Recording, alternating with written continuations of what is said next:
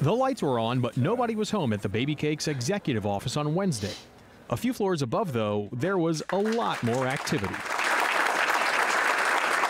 The owners of NOLA Gold Rugby announced their team will move into the stadium, which had been home to the Zephyrs and later the Baby Cakes, next year. I think when those teams around the league look at their away games, all those other 14 cities, they look at the away game and say, where am I going to go watch my team? They're all going to point to New Orleans. You know they're going to come here. Kyle France, who heads up the state agency that owns the stadium, says he welcomes the rugby team coming in, given that the Baby Cakes have gone. I'm excited for them. I mean, they, they were on the West Bank. They had maybe 2,000 fans at those games over there. And uh, I think they, they feel very confident that they'll have a really good crowd here at the, at the uh, Shrine and Airline. But the Louisiana Stadium and Exposition District will also look at other possible uses for the ballpark.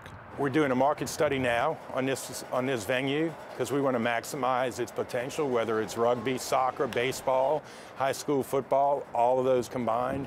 And once we get that back, then we'll know where we want to move uh, as, as a forward direction. You can still see where the infield was at the stadium, but grass now covers it, and goalposts are set up as part of the new rugby field. With a new team comes a new nickname for the stadium. No longer the Shrine on Airline, now it's the Gold Mine at the Shrine on Airline with thousands more seats, and the team hopes they can fill every single one of them. There's a big opportunity here because you have the real estate, so hopefully, you know, we fill it up. That'd be great. Time will tell. Reporting in Metairie, Danny Monteverde, Eyewitness News.